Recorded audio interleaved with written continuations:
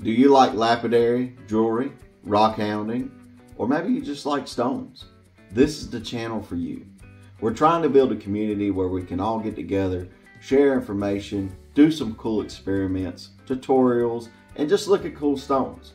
We're even going to go to gem shows and try to get interviews with other lapidarists in the community.